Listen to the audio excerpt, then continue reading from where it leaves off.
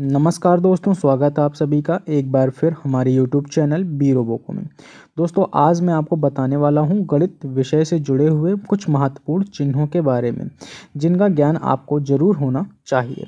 सबसे पहले हम बात कर रहे हैं एक चिन्ह की, जिसका नाम है जोड़, जिसका साइन कुछ इस तरह से होता है। इसके बाद अगला चिन्ह है घटाव घटाव का जो साइन होता है, वो कुछ इस तरह से होता है। इसके बाद अगला चिन्ह है गुणा का जिसका चिन्ह कुछ इस तरह का होता है। और इसके बाद अगला चिन्ह है भाग, जिसका चिन्ह कुछ इस तरह से होता है।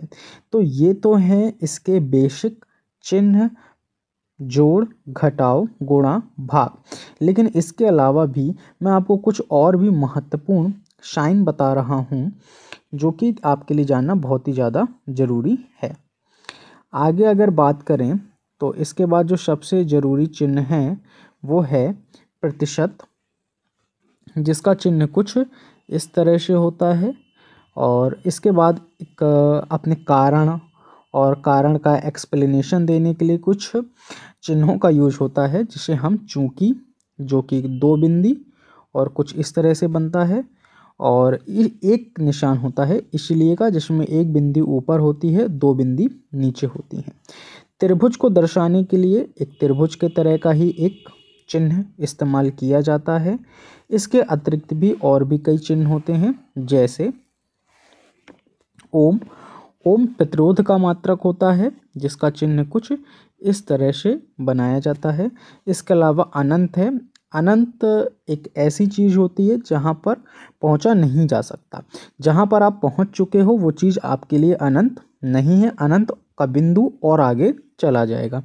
इसका एक बहुत ही इंपॉर्टेंट निशान होता है, जिसको हम पाई के नाम से जानते हैं, जिसकी वैल्यू हमेशा हम लोग बाईस बटे सात कंसीडर करते हैं। अगर कभी भी आपको बोला जाएगा पाई की वैल्यू क्या है तो आपको बाईस बटे सात कंसीडर करनी है। इसके अलावा और भी महत्वपूर्ण साइन है, जिसको एक साइन है, जिसमें से ओमेगा एक बहुत ही महत्वपूर्ण साइन है, जो कि है ओमेगा ओमेगा जब हम लोग समृश संख्याएँ पढ़ते हैं तो वहाँ पर हमें ओमेगा साइन का यूज़ करने को मिलता है। इसके बाद यदि हम कोण वगैरह पढ़ते हैं तो वहाँ पर अंश, जैसे अठारह डिग्री लिखना है, अठारह डिग्री लिखना है तो ऐसे एक बिंदी रखनी पड़ेगी।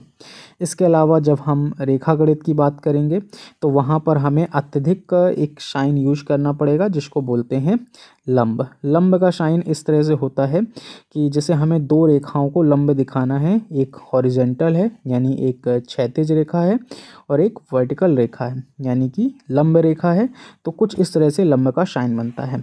कोण को दिखाने के लिए ठीटा इस तरह का एक निशान बनाया जाता है। और आप चाहें तो कोण को दिखाने के लिए थीटा या फिर कोण को दिखाने के लिए आप फाई का इस्तेमाल भी कर सकते हैं, तब भी कोई दिक्कत नहीं होगी। इसके अलावा अब मैं और भी आपके लिए कुछ महत्वपूर्ण रखे हूँ। जैसे एक बीटा है। बीटा को भी आप एंगल की तरह ही इस्तेमाल कर सकते हैं, कोई दिक्कत नहीं है। बराबर के निशान से तो आप भली भांति परिचित होंगे, इसमें कोई दो राय नहीं है, लेकिन एक इस पर एक और निशान होता है, जिस जो कि होता है कि बराबर नहीं है। बराबर नहीं है जिसको नॉट इक्वल टू भी बोल देते हैं, जिसका निशान कुछ इस तरह से होता है। इसके अलावा एक निशान होता है वर्गमूल का। वर्गमूल जहाँ पर दो दो के पेयर बनते हैं और आता एक ही बाहर है, इसका निशान कुछ इस तरह से होता है, जैसे दो गुणे दो लिखा हुआ है तो इसका वर्गमूल का आंसर केवल दो ही आएगा। इसके अलावा प्रश्नवाचक है, इससे आप भली भांति परिचित होंगे। इसके अलावा एक निशान यहाँ पर आप अल्फ़ा देख सकते हो। अल्फ़ा जो कि इस तरह से बनता है, इसे भी आप कोण की तरह यूज़ कर सकते हो। यदि आपको दो रेखाएँ समांतर दिखानी है तो आपको इस तरह के निशान का प्रयोग लाना है। इसके बाद अगला बहुत ही महत्वपूर्ण निशान है, जिसको बोलते हैं समरूप।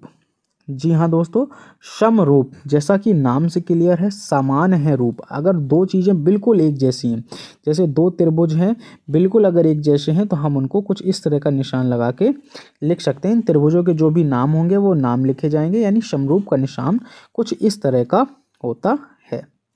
इसके बाद अगला जो आपको गणित का निशान है, वो है अनुपात, जिसको इंग्लिश में हम लोग रेशियो करके भी बोल देते हैं। रेशियो जो कि दो बिंदी लगाने पर बनता है और इसी का एक बड़ा भाई है, जिसका नाम है समानुपात समानुपात का निशान में हम चार बिंदी कुछ इस तरह से क्या करते हैं, प्रयोग में लाते हैं।